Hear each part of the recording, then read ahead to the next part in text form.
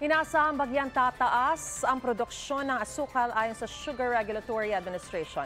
Pero ngayon pa lang pinaghahandaan na nila ang posibleng epekto ng El Nino sa supply. Yan ang unang balita ni Bernadette Reyes. Kasabay ng pagpasok ng Burmonths ang simula ng paggiling ng mga tubo. Pero ngayon pa lang, gusto nang makasiguro ng Sugar Regulatory Administration na sasapat ang supply ng asukal sa bansa. Kaya naman sa bisa ng Sugar Order Number 1, pinag-utos na i-classify bilang domestic sugar ang lahat ng asukal na aanihin ng mga magsasaka. Sa taya kasi ng SRA, kahit na bahagyang tataas ang produksyon ng asukal sa 1.85 million metric tons, may banta ng El Nino na maaari makaapekto sa mga sakahan.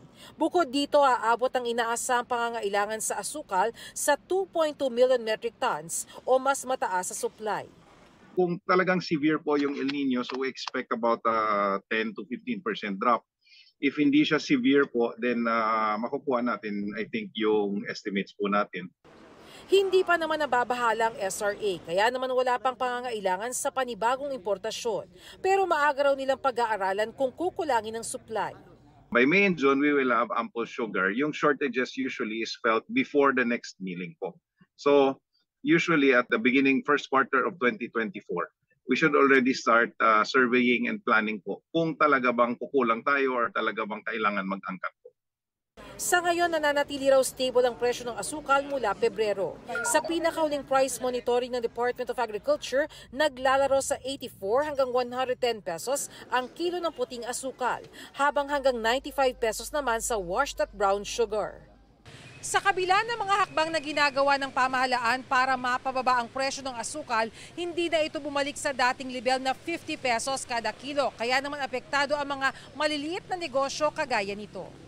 Ang dati binibili ko puti, ngayon nagwas na po ako kasi mas, mas mura ang was. Hindi naman pa bumababa ang ano asukal. Tapos siguro ganun yung trend ngayon kasi pa December na, 'di ba? Tumataas talaga lahat. Sa taya ng SRA, sa sandaling makarating na sa Metro Manila ang mga bagong giling na asukal, inaasang maglalaro lang ito sa 75 pesos kada kilo. Ito ang unang balita, Bernadette Reyes para sa GMA Integrated News.